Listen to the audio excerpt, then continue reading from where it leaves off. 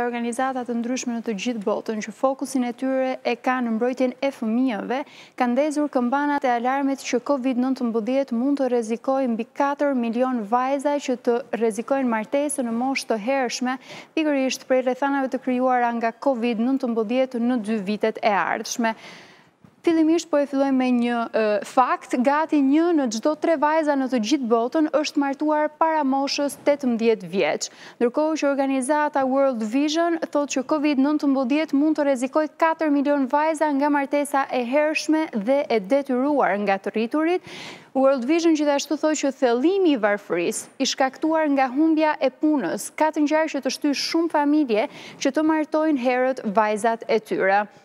Ndërkohë që ekspertja e çështjeve për martesat në moshë të hershme të fëmijëve, Erika Hall, thotë që kur ndodhin kriza si konflikte, katastrofa apo pandemi, numri i fëmijëve që martohen rritet ndjeshëm. Ndërkohë që janë pikërisht këto vendet që rrezikohen që të martohen fëmijë në moshë të hershme, pasi e kanë edhe pjesë të traditave të tyre, fillimisht është India në vend të parë, Bangladeshi në vend të dytë, Nigeria në vend të tretë, Brazili, Etiopia dhe Pakistani janë pikërisht pra këto vendet ku fëmijët rrezikojnë të martohen në moshë të hershme. Në një raport të publikuar së fundi nga Kombet e Bashkuara thuhet që pandemia mund të çojë në një shtim prej 13 milion martesash të fëmijëve gjatë dekadës së ardhshme. Ndërkohë që Girls Not Brides, një organizatë që merret me